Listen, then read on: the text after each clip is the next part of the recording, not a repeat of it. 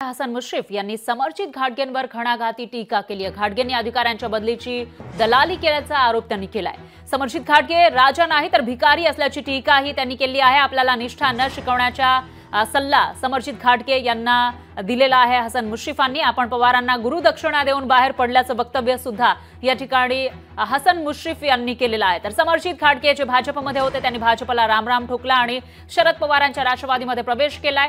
ते हसन मुश्रीफ यांच्या विरोधामध्ये निवडणुकीच्या रिंगणात उतरणार अशी चर्चा असतानाच आता हसन मुश्रीफ यांनी समर्जित घाटगेंवर घणाघाती टीका केली आहे. आता मला कळालं की राजा आहे का भिकारी कच्ची दलाल लगावा बघून आज निष्ठाही मला शिकत आहेत. पस्तीस वर्षापूर्वी मी सदा शरद पवारांचं नेतृत्व स्वीकारलंय पवार साहेबांचं जेव्हा मी कॉलेजमध्ये होतो त्यावेळी नेतृत्व स्वीकारलं. ते माझे दैवत होते दैवत आहे ते दैवत राहणार आहे परंतु कशा परिस्थितीत हे बदला लावलं यामुळे बदललो ना. नाही तर काय जायची गरज होती आपल्याला?